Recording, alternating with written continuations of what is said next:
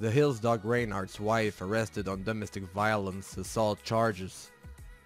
Natalie Sutton, the wife of the former The Hills star Doug Reinhardt, was arrested last weekend on a misdemeanor domestic violence assault charge in Paradise Valley, Arizona.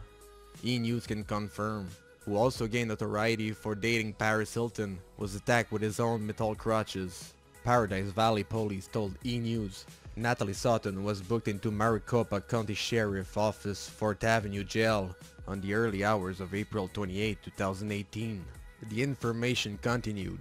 A report indicates a Class 1 misdemeanor charge for criminal damage and a Class 1 misdemeanor charge for assault, both classified as domestic violence.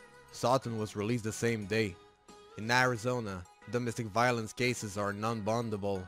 Those arrested for these offenses are required to see a judge for their initial appearance. The pair was married in October. Previously, Doug dated Hilton and Amanda Bynes.